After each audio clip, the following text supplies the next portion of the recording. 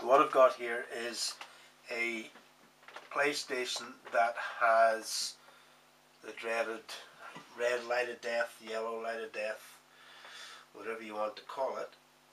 Um, if I switch it on, we'll see the, uh, the red lights shining there and when we go to start it up you see it went green and then it flashed and then it went red. So basically that motherboard is um, gone. So we've already showed you how to open the console and now what I'll do is show you how to take your motherboard out and put another more motherboard back in. So the first thing to do obviously is to switch off the power and unplug it and then remove the cable. So it's safe to work on.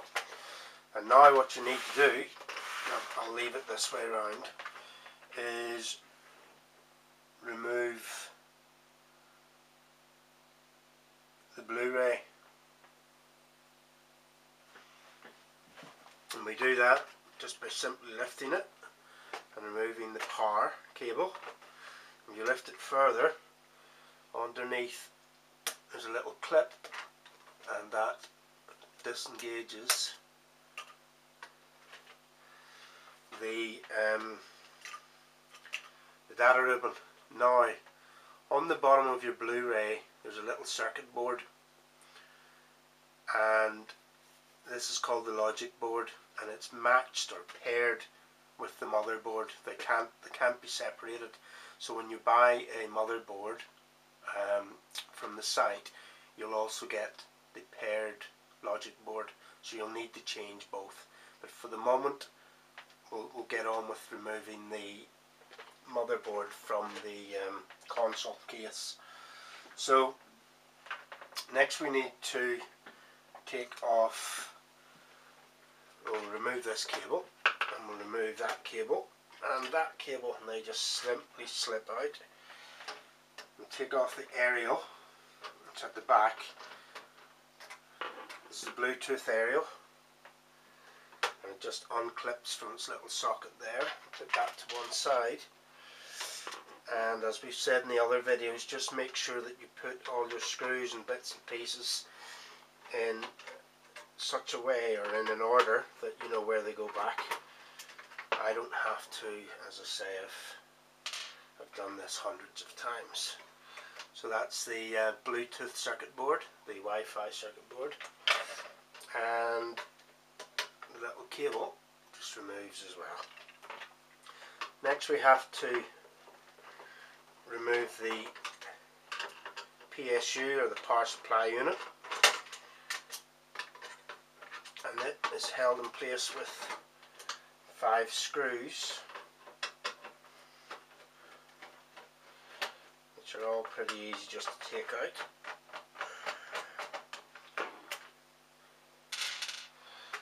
And that just lifts off and then disconnected at the back there. Put that to one side. And then there's an earth screw here.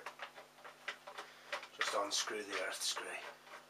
Put it to one side. Take off your Blu-ray data ribbon. That just clips up and out it comes so the next thing to do is on the side here is to open the cover and remove the hard drive. I've already removed this one for speed. There's a little blue screw in it. Unscrew the screw, slides back and out it comes. So that's all the screws removed. All to do now is turn it upside down, give it a bit of a shake and off it comes. Now underneath you'll find the fan, you'll need to remove the fan.